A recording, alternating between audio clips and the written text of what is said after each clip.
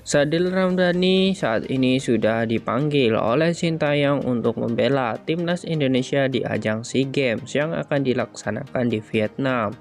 Namun beberapa kendala menimpa Sadil Ramdhani. Ya, diketahui Sadil Ramdhani tidak bisa berbuat banyak karena keinginannya untuk membela timnas Indonesia harus dihalangi oleh klubnya, yakni Sabah FA, klub asal Malaysia. Ya, hal ini pun membuat semua pecinta sepak bola Indonesia merasa kesal.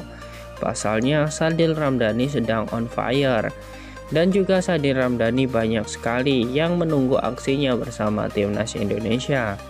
Bahkan media asal Malaysia mengakui bila Sadil Ramdhani dihalangi oleh klubnya gabung ke timnas Indonesia. Salah satu media olahraga sepak bola asal Malaysia, semuanya bola, mengatakan dan buka-bukaan bila klub Sabah FC telah menghalangi Sadir Ramdhani ke timnas Indonesia. Hal tersebut diketahui melalui judul Semuanya Bola yang dipublikasikan pada Kamis tanggal 31 bulan 3 kemarin yang berjudul Instagram Sabah FC diserang penyokong Garuda akibat halang Sadil Ramdhani ke SEA Games. Hal itu memang benar. Hal ini karena terjadi amarah dari netizen Indonesia karena tidak terima Sadil dihalang-halangi untuk bisa gabung ke timnas Indonesia. Hal inilah yang membuat netizen semakin geram. Pasalnya dibalas langsung oleh netizen Malaysia yang mengungkap bahwa Indonesia mundur saja. Latihan tidak pernah, persiapan jarang, mau ikut SEA Games, ucap netizen Malaysia.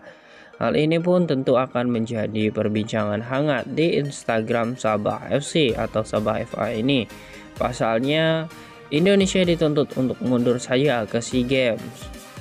Ini sebuah permainan dan bukan lelucon karena Malaysia seolah menyindir PSSI karena persiapan Indonesia belum matang.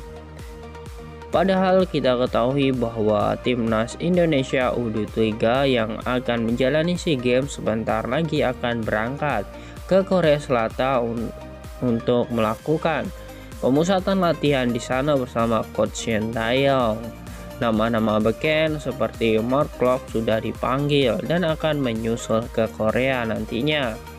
Indonesia bukan tanpa persiapan. Jadi jika ada yang mengatakan Indonesia mundur dari SEA Games karena belum ada persiapan itu tidak benar.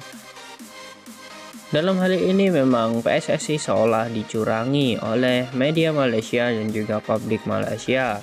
Pasalnya Sadil Ramdhani selalu dihalang-halangi oleh klub.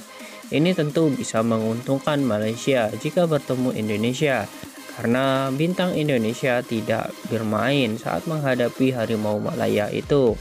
Ini bisa jadi menjadi strategi dari tim Malaysia untuk bisa menjungkalkan Indonesia di SEA Games. Pasalnya, target Indonesia sangat tinggi yaitu mendapatkan emas di cabang sepak bola ini. Lantas bagaimana menurut kalian? Apakah tidak adanya Sadil memang berpengaruh nantinya di tubuh timnas Indonesia?